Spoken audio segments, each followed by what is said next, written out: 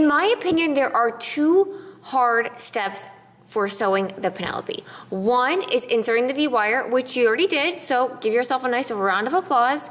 The other one is sewing the underwire channeling on the seam that connects the bralette cups to the front bodysuit or the front teddy. The, the actual sewing is not hard. It is showing what the sewing should be that I think is very confusing because this operation or step has three steps in it. So the first step is that you're sewing through the seam allowances only, only. The next steps are through all the layers. So let's jump right into it because once you get past this step, it is smooth sailing to the finish line. So for both the bodysuit and the teddy, you are gonna place your garments in a way that the seam allowances are facing one direction and the bodysuit or teddy is facing the other direction. You are going to lay your channeling or your under your underwire channeling on top. Plush side should be face up. The non-plush side should be facing the bodysuit or the teddy. You are gonna lay this down and what is most difficult about this step is that the edge of your channeling is lined up with the seam line but your stitches are an eighth of an inch inside that channeling. So you are not necessarily sewing over your original stitch line. You might, if your stitching is not perfect, perfection's overrated, you might go over your original stitches, but it's not intended to. And it's no big deal if you do. So you are going to stitch with a straight stitch just inside that channeling. One more thing about this step is that when you are sewing through the seam allowances only, you want to make sure that you are sewing them in a way so that they will be flipped down into the, not into, but towards the bodysuit on the next step, not towards the bra cups. So if you're sewing through the seam allowances, you could sew it on this side of the seam allowance so that it flips up into the cup. That is wrong. That is wrong. You want to be sewing them to the seam allowances so that they will eventually be flipped down. That is a very common mistake that I'm calling out now. So I'm going to be sewing through the seam allowances only so that in the next step they will flip down into the uh, bodysuit or teddy.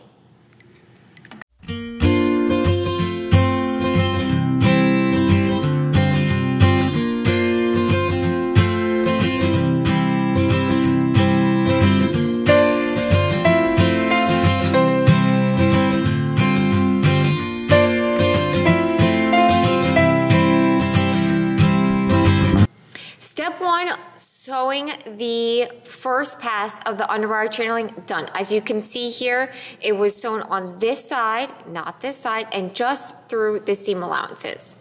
Next step, or step two, is to press them down and you're gonna sew on the opposite side of it. So the first pass or step was on the side closest to the bra cups on the second pass or second step, it's on the side closest to the bodysuit or teddy. And on this one, you are sewing it through all layers of fabric. Also, if you have anything, if you have some um, fold-over elastic hanging out here, you want to trim that back.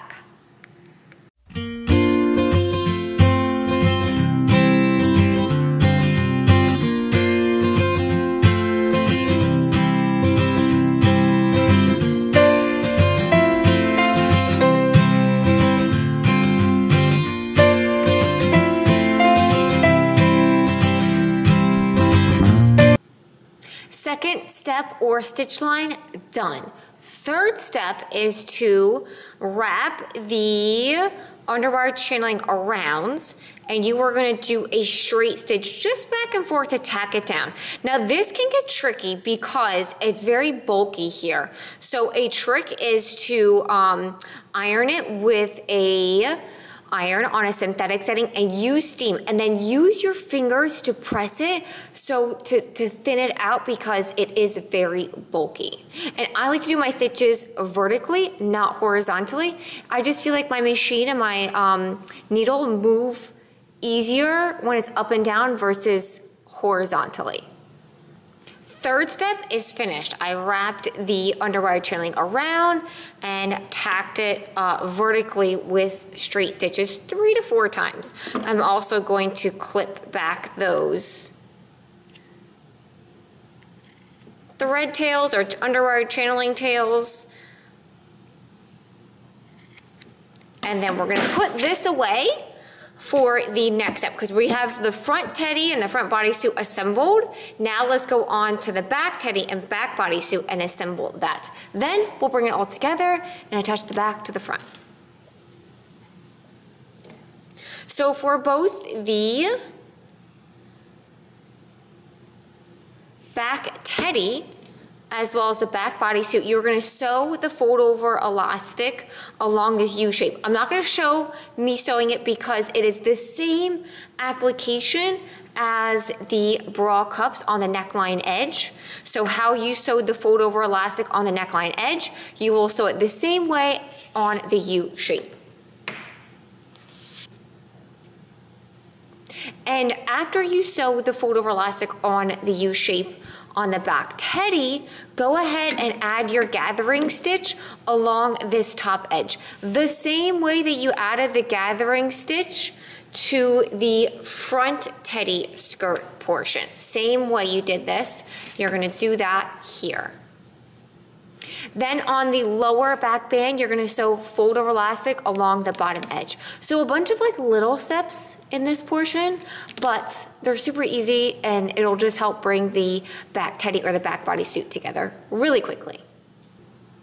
Once the fold over elastic is sewn to the U portion on the teddy and the bodysuit, we are going to assemble the rest of it. So right now we have like all the component parts of the back pieces assembled. Now we're gonna bring it together so that we can attach it to the front. So for the teddy, I sewed the gathering stitch along the top edge and now I'm going to gather it just like I did with the front teddy.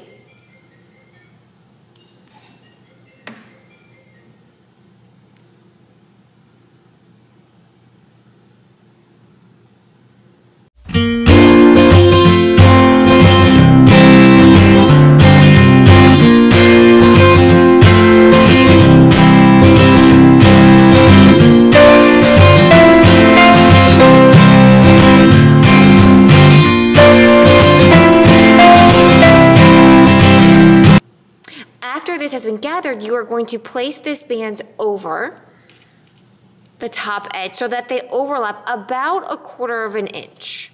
And then you're gonna pin through all the layers and sew them together with a zigzag stitch.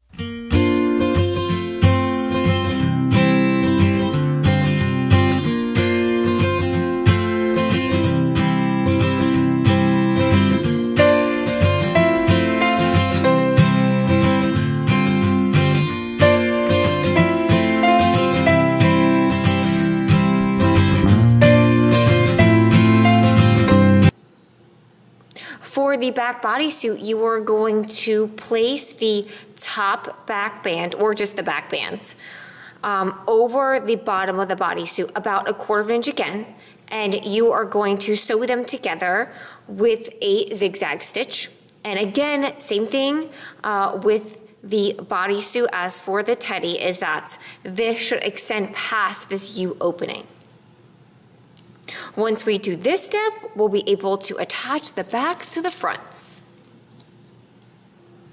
Back of the bodysuit is assembled. Now, once you do this step, you can proceed to attach the front to the back at the side seam. Pin them together, you will do a straight stitch and your underwire chain is gonna come up right next to that stitch line. Now, since we're dealing with very sheer fabrics, uh, serging is optional. You can also press it to one side and do a zigzag stitch. I personally like to do that because um, the serge can get thick and get bulky, whereas if I just top stitch it, it just, it looks just as nice as a serge.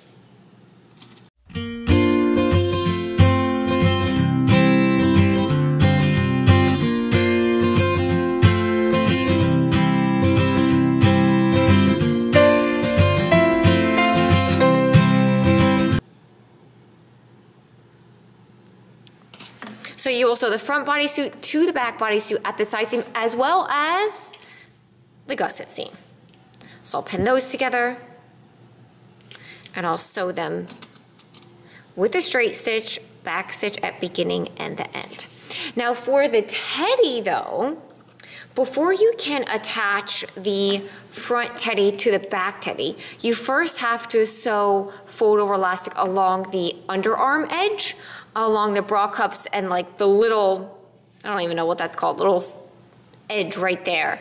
Um, and then once you do that, same application as the front neckline. I used a wider fold elastic here. You can use a skinnier fold elastic if you want. Once you do that, then you can attach the back portion of it. Front body suit has been sewn to back body suits and front teddy has been sewn to back teddy. I think this is a good stopping point for this video. I just put those clips there so that the back didn't droop down before you added the straps. Don't mind me just talking to myself. So front teddy has been attached to back teddy. I think this is a good stopping point for this video because in the next video, we will finish the teddy as well as the bodysuit. Um, so I will see you in the next video.